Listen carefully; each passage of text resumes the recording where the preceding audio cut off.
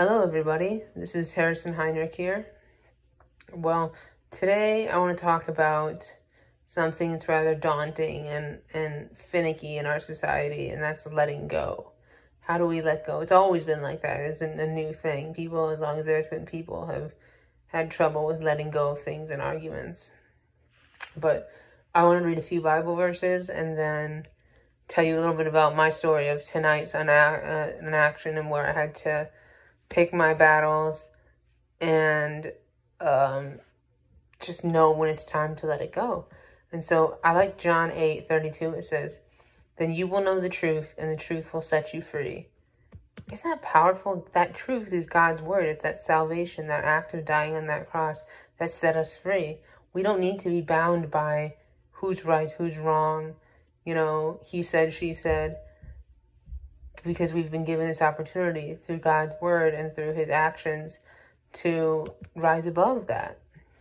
Another verse I like is um is out of Proverbs 29 11 and it goes fools give up give vent to their rage rage but the wise being calm in the end so instead of foolishly going into our rage and just like two of those dinosaurs with the helmet heads just smashing themselves together.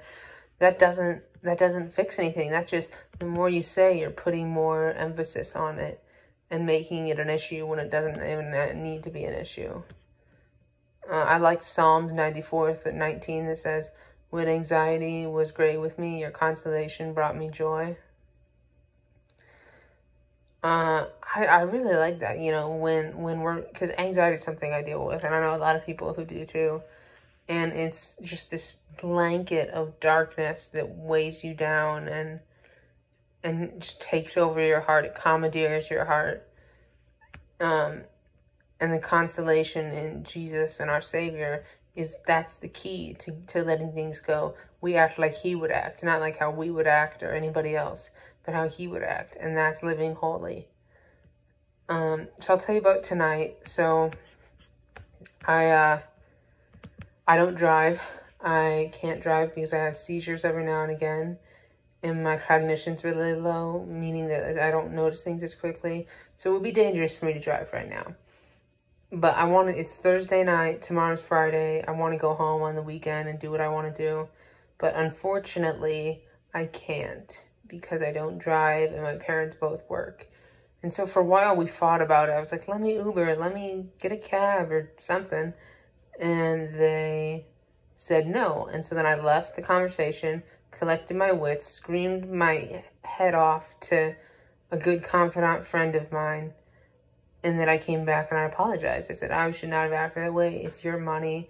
It's your time. You know, your the fact that you didn't come and get me at all is enough.